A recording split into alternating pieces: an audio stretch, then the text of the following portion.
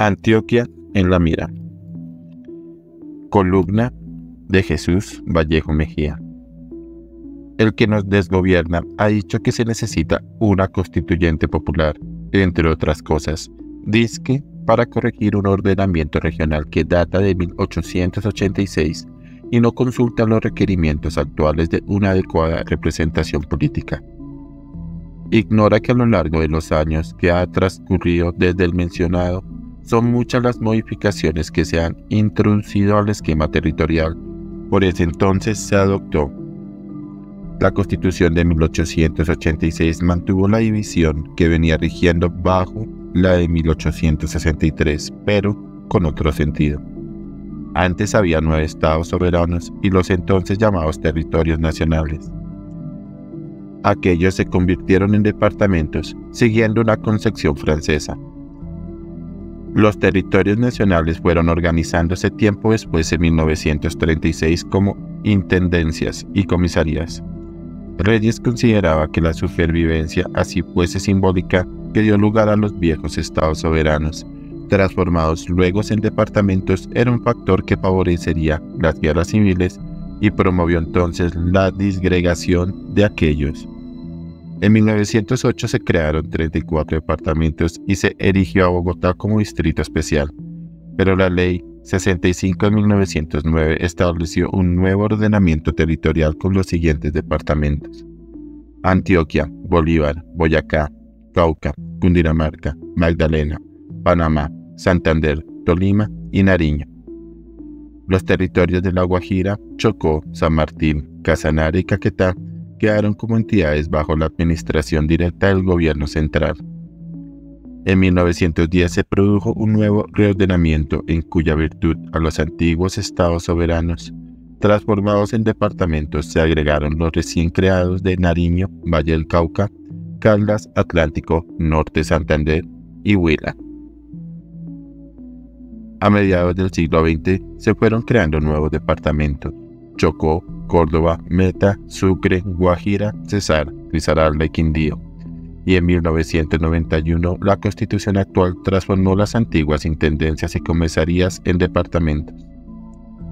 No es cierto entonces que conservemos hoy la estructura territorial que se adoptó en 1886. Lo que rige en la actualidad pone en manifiesto en términos generales las sensibilidades de las regiones, aunque hay voces críticas que consideran que deben introducirse ajustes necesarios para efectos de planificación y mejoría en la prestación de servicios. Es poco probable que sean estas las consideraciones que motivan hoy a los que nos gobierna.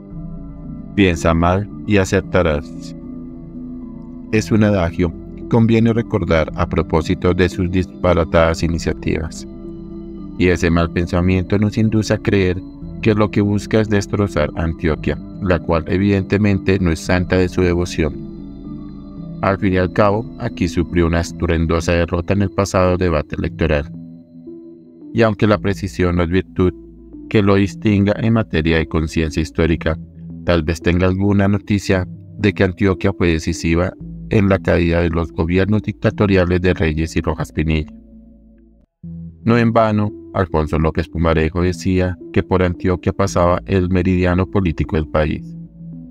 Y acá encontrará fuerte oposición a sus designios totalitarios y liberticidas.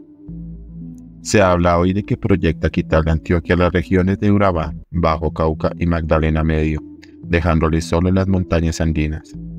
El senador J. Hernández declaró hace poco para el colombiano que al que nos desgobierna se le nota en los ojos la maldad el suyo es un liderazgo tóxico que se solaza con la destrucción, y Antioquia está en su mira.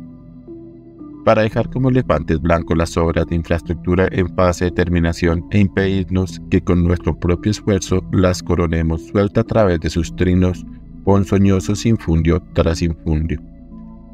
No le parece bien esas obras en tanto que sale a ofrecer trenes y aeropuertos, ni ton ni son para descrestar calentano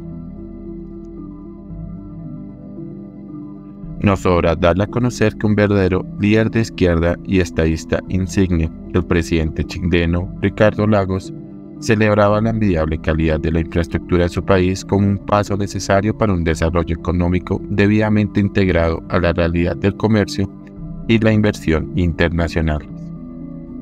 Chile llega eficientemente con sus productos a un amplísimo mercado mundial gracias a que cuenta con puertos y vías de altas especificaciones. Los gobiernos de la concertación tuvieron claridad acerca de las verdaderas conveniencias de su país. Al nuestro, en cambio, lo domina el miserabilismo que otrora lamentaba Álvaro Gómez Hurtado. Antioquia tiene visión de futuro y no puede aceptar la estrechez de miras de un gobernante malintencionado.